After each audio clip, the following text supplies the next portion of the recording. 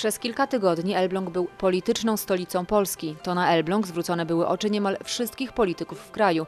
Wszyscy śledzili przedterminowe wybory samorządowe w mieście. Wybory były konieczne, bo Elblążanie w kwietniowym referendum odwołali prezydenta i Radę Miejską. Ostatecznie wyścig o fotel prezydenta Elbląga w drugiej turze wygrał Jerzy Wilk z Prawa i Sprawiedliwości. Nie kandydowałem nigdy w wyborach parlamentarnych. Nigdy nie kandydowałem. Zawsze tylko startowałem do samorządu, bo uważałem, że te sprawy najważniejsze to dzieją się tu w Elblągu, a nie w Warszawie.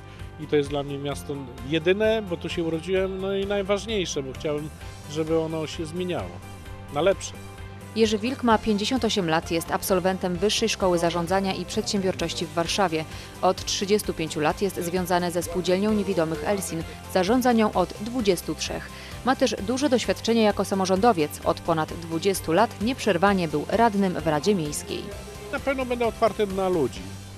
Nic się nie zmieniło, dalej chodzę do pracy, także że, że mam nadzieję, że będą ludzie mnie widzieli na ulicach. Ja przepraszam, jeżeli komuś się nie odkłaniam, bo ja już teraz z bezpieczeństwa kłaniam się wszystkim, bo boję się, że kogoś pominę. Także że na pewno ta kampania spowodowała, że, że, że jestem rozpoznawalną osobą, natomiast na pewno zatrzymuję się, rozmawiam, jeżeli mi czas pozwala.